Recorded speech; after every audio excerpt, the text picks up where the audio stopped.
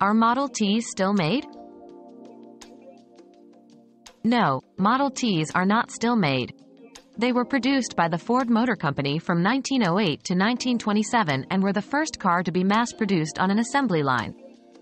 The Model T was replaced by newer Ford models, such as the Model A, in the late 1920s.